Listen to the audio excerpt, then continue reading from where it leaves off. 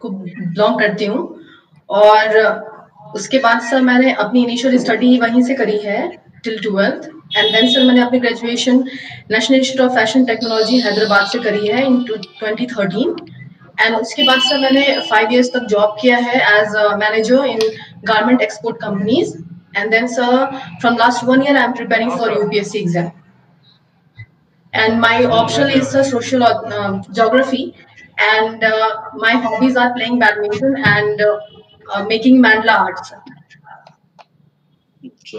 जिला Saharsa? Yes sir. Bihar के किस क्षेत्र में पड़ता है? तो ये मिथिला रीजन में पड़ता है sir it is in north eastern state of Bihar part of Bihar से अच्छा। सहरसा जिला की आप यस कुछ विशेषता बताइए।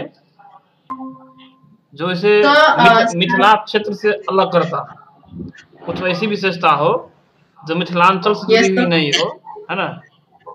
और उसको साउथ बिहार या अन्य ज़िले हैं उससे अलग पहचान इसको दिलाता। सर उसके सर नाम में एक विशेषता है कि उसका नाम सर सहरसा है जिसको हम कह सकते हैं it is full of joy means Saharsa. And उसके बाद सर वो मतलब वहाँ पे सर बहुत सारी नदियों का समागम है एंड उसके अलावा सर जो हिस्टोरिकल एक फैक्ट है कि वहाँ पे मंडन मिश्रा जो हमारे थे, उन्होंने सर शंकराचार्य जी से डिबेट किया था एंड उन्होंने उसको डिफीट किया था। तो सर उसके लिए हिस्टोरिकली वो फ़ेमस है। एंड उसके अलावा sir it is like one of the biggest producer of makhana, जो कि जो कि बहुत ही इम्पोर्टेंट एक्सपोर्ट में हेल्प करता है बिहार के। This are all the speciality sir hmm sir Okay, your uh, asthma subject is geography. Yes sir Uh, tell me something. What is geographical hub? geographical hub Yeah. uh, so i'm not sure of it but i can guess sir uh, on. uh, maybe it is like uh, a group of uh, places which has geographical implications or which are very rich in geography in terms of soil uh, in terms of very good atmosphere or something i'm not sure about sir i'm sorry Okay. What is geodesy? sir geo Desi. uh, sorry sir i have no idea sir i'm sorry i have to read about it sir Uh, what is Bullock capitalist? Uh, i'm sorry sir I have to read about it. Actually, uh, Copenhagen uh, divided Bihar in two climatic zones, One for North Bihar, other for South Bihar. Which Yes. type of climatic zone? which are the types of climatic zone Yeah, in North Bihar and South Bihar. Which type of climatic zone in North Bihar and which type of uh, climatic zone in South Bihar according to Copenhagen? Uh, so for Bihar, I am unable to recall as of now. But, uh, I'm sorry, sir. No. Uh, what is soil genesis? So uh, soil genesis is the process of uh, formation of soil through different uh, geographical factors like climate, uh, its parent rock, uh, its uh, at, uh, like climatic conditions over there. Mhm. uh, what is the pattern of urbanization in Bihar? What is the pattern of? Urbanization in Bihar. Uh, so it is still under, uh, not into complete urbanization, but few cities like if we say Patna and Muzaffarpur, it is like going through the process of urbanizations where all the like hubs of like uh, software and uh, very good uh, institutions has been opened. So we can say that it is going through urbanization, but not complete uh, urbanization has been done yet for many parts of states of Bihar. Okay. Uh, your uh, Saharsa and all Mithilanchal is uh, facing great problem of flood. Yes, sir. As geographer, uh, how can uh, how can you handle the problem of flood? Uh, so basically, uh, flood is caused to natural factors which is not our control, and it is also caused by anthropogenic factors which we can control. So, so for that we can have uh, two processes. One is short-term process, one is long-term processes. So, sir, for uh, like long-term processes, as uh, uh, APJ Abdul Kalam sir has said, that we should make uh, like reservoirs and wells in the upper reaches of Ganga or reaches of the Kosi River, which will help in uh, capturing the extra water du during the flood season and which can be used for irrigation at later time. And also, so like we can like negotiate with our uh, neighbor, which is Nepal, uh, not to deforest much, or like we can tell them to uh, go for afforestation so that the rivers don't frequently change their courses and it hampers Bihar. And so for short-term process, like we should be uh, very much aware of uh, the the IMD, what recommendations they give. So we should be aware of it, and we should plan accordingly. That people who are living in the uh, like lower reaches of the uh, Kosi River, they should be like uh, displaced from there. They should be given to some safety places. So these are short-term processes. What we can do so after the short, flood. term use for short term uh, process is R3. What is R3? Sorry, sir. Uh, for short term in uh, in any uh, flooded situations, the government use the term R3. R3. What is R3? So I'm not aware of that, sir. That's okay. Uh, what is uh, Nagpur plan, especially in uh, transport system? So Nagpur plan. Yeah. So I'm sorry, sir. I have to read about it, sir. Uh, what type of uh, rocks mainly found in Bihar? Uh, so I think it is mostly form of uh, sedimentary and metamorphic rocks uh, because Yeah, go on. Go uh, on. yes, so it is mainly a form of uh, sedimentary rocks and metamorphic rocks which uh, which has their lying from so long and due to the geoclimatic factors it keeps on uh, like uh, forming. So I think so it is metamorphic and sedimentary rocks. Bablu ji hello जा रही है आवाज़ आपको Yes, sir. अच्छा आप सहरसा की रहने वाली हैं Yes, sir. और कोसी नदी बहती है वहाँ ना? Yes, sir. और आप ज्योग्राफी की भी स्टूडेंट है तो एक प्रश्न है कि कोसी माने नॉर्थ इंडिया की या नॉर्थ बिहार की सारी नदियों को हम देखते हैं Yes, सर तो कोसी अपना रास्ता बहुत ज़्यादा बदलती है। Yes, sir. तो इसका कोई ज्योग्राफिकल कॉज भी है? यस सर कोसी रिवर को हम लोग sir we can call it as antecedent river जो कि हिमालय से निकलती है एंड सर वो जब अपर रीचेज में होती है तो it is in very high speed and it brings lots of sediments and along with them and when it reaches to the lower regions of Bihar sir it just clogs the way and due to the high sedimentation and silting process it keeps on changing its courses every time so it is called as uh, the Sor- Sor of Bihar also because of this property sir. तो north Bihar की तो अधिकांश नदियाँ हिमालय से ही निकलती हैं और सब सेडिमेंट लेके आती हैं तो फिर दूसरी नदियाँ क्यों अपना रास्ता इतना अधिक नहीं बदलती हैं? तो I think sir I am not sure but I think guess that because of Kosi it comes from very upper reaches of Himalayas which is the middle Himalayas so from there because of the upper reaches it is having lots of sedimentation So it just carries forward, and it has like uh, lots of sedimentation and silting processes. So it might bring it flood to Bihar. अच्छा आपने सौराठ सभा के बारे में सुना है So Swaraj Sabha. हाँ Uh, uh, sir, I think I'll have to read about this. I'm not sure of it. Saurath Sabha Madhubani में एक जगह है सौराठ वहाँ शादी के लिए एक मेला लगता था और मधुबनी के सौराठ के अलावे आपके सहरसा में भी वो मेला लगता है Uh, sorry sir, thank you for this information, but sir मुझे ये मालूम नहीं था. Okay okay.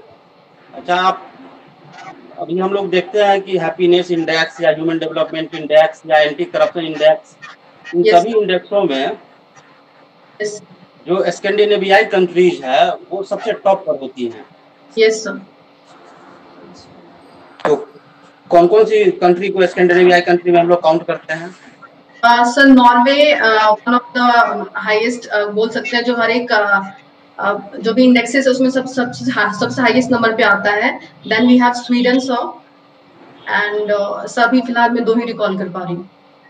तीसरा डेनमार्क है yes sir yes thank you sir तो आखिर क्या कारण है कि ये तीनों कंट्री ही टॉप पे होती है?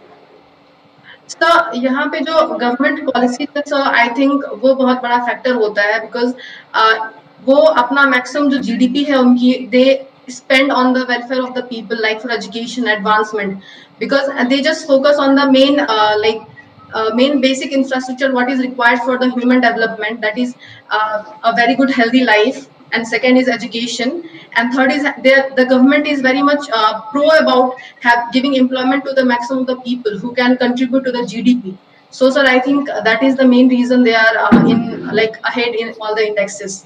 And so second thing i think that uh, they are more into development and they are more into the growth also. So they focus on both qualitative and quantitative development of their uh, population over there. So i think they are more uh, at a very good position in all the indexes of तो, तो दुनिया के तो सारे देश उन, उनको देख रहे हैं तो दूसरे देश भी उनके मॉडल को क्यों अडॉप्ट नहीं कर लेते? Sir because of the resources India में भी सर लाइक हम उसको अडॉप्ट करने की कोशिश करते हैं but sir we have too many lacunae like sir जो गवर्नमेंट इम्प्लीमेंटेशन पॉलिसीज़ की होती है वो प्रॉपरली नहीं हो पाती है. There are always like problems of corruptions और sir third thing is that sir हमारी जो रिसोर्सेज है सर उतनी ज़्यादा डेवलप नहीं कर पा रहे हैं हम लोग जो कि एजुकेशन है।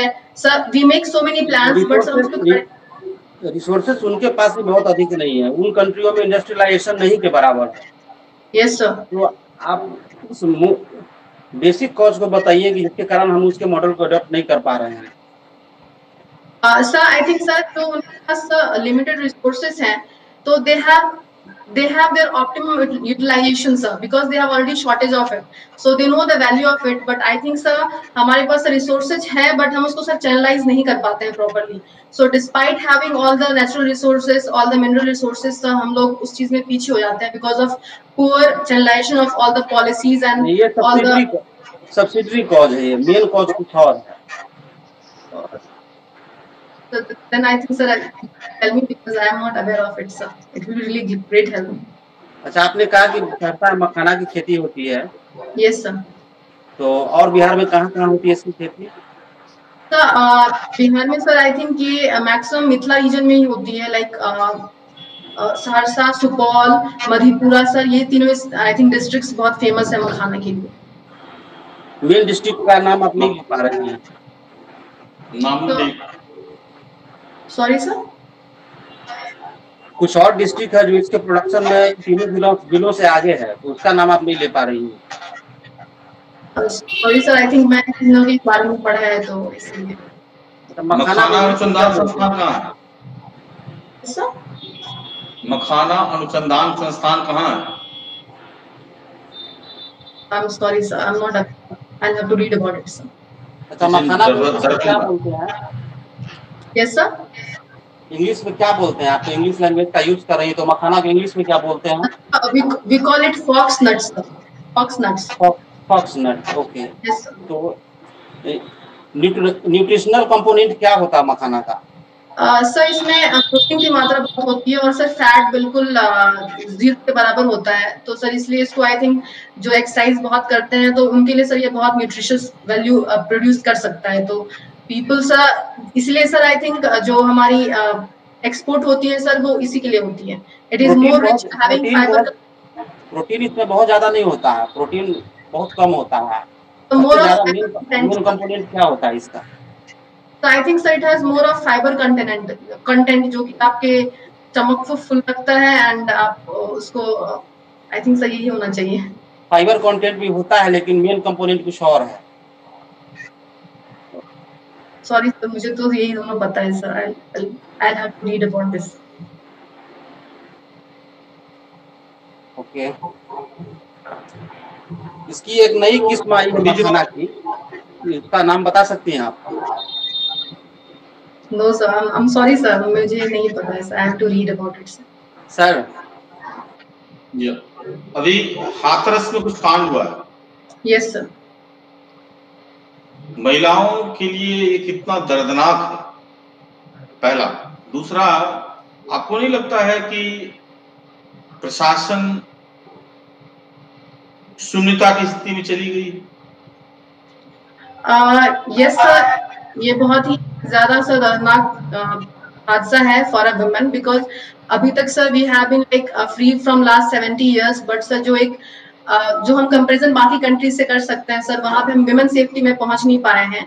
एंड उसका सर मेन रीजन ये है कि जो मेनली uh, जो uh, बीमारू स्टेट्स हैं सर वहाँ पे अभी भी या फिर जो मेन स्टेट्स है बिहार के इंडिया के sir they still feel that कि जो वुमेन का रोल है सर वो बहुत ही लाइक like, घर तक सीमित है।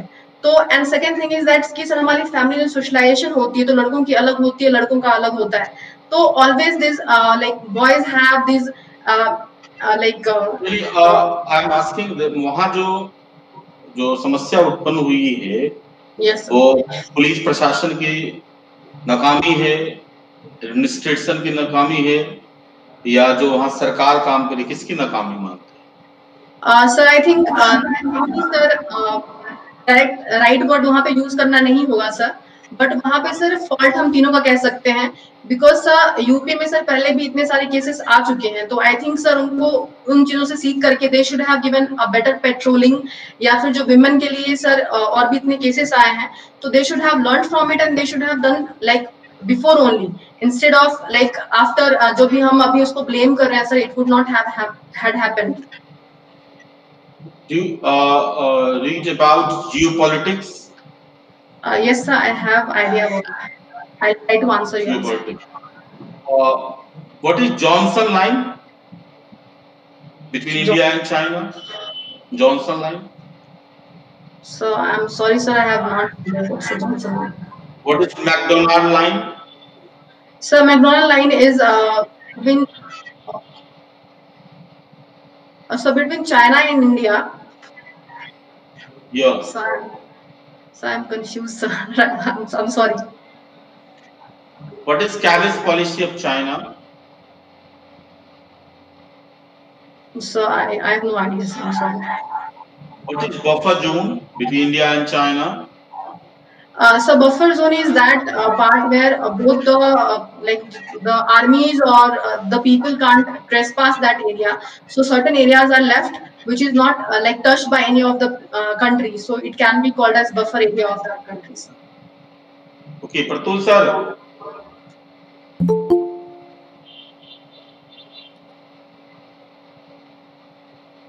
Pratul sir. अच्छा एक क्वेश्चन है Hello. Yes, yes, yes, sir. Yeah, Ajay, sir. Go on. Yeah, yeah, yeah. I was, I was, I was listening. Um, let her complete first. Uh, later on, I will ask the question. Let her complete first. Okay. Uh, Daisy. Yes, sir. Uh, how you feel about your interview, first interview? I think so. So, so I think it was really very bad because uh, maybe I was a little bit nervous or many of the things I think I forgot or got confused. So it was not bad. It was not good at all. I have to read more about international relations and geography also. So my option. Uh, uh, your medium is uh, English. Yes. Maybe? Okay. Uh, आपने जब introduce करा yes, तो आपने हिंदी में करा yes sir reason sir मुझे लगा कि मैं हिंदी ज़्यादा कनेक्ट कर पाऊँगी इसलिए सर मैंने हिंदी में शुरू किया था। वेरी गुड बहुत अच्छी बात है। आप आ, हिंदी में ही चीज़ों को रख स्टार्ट करें। आ, उसमें हमने निफ्ट निफ्ट से आपने करा है। यस सर हाँ तो अगली बार निफ्ट से भी बहुत सारे क्वेश्चन आएँगे। Yes, पहले आप समझो क्या क्या पूछा जा सकता है आपको उसकी आप तैयारी करेंगे एक तरीके से। Yes, तुमको व्हाट्सएप बोलना पड़ेगा क्योंकि बहुत सारे क्लासेस मेरे द्वारा इंटरव्यू के लिए दिए गए हैं। ओके सर लगभग वन मंथ क्लासेस दिए गए हैं। यस हर एक सब्जेक्ट के इंटरनेशनल रिलेशन के। तो हम्म, वो तुम्हें व्हाट्सएप खोलेगी तब तुमको वहाँ सेंड कर दिया जाएगा यस सर श्योर ठीक है? यस ठीक है हाँ। जैसे इंटरनेशनल रिलेशन से जुड़ा हुआ या जो भी जो इंटरव्यू कैसे तैयारी करेंगे यस वो अगर पूरी तरीके से गो थ्रू कर जाएगी तो फिर बहुत ज़्यादा दिक्कत नहीं होगा।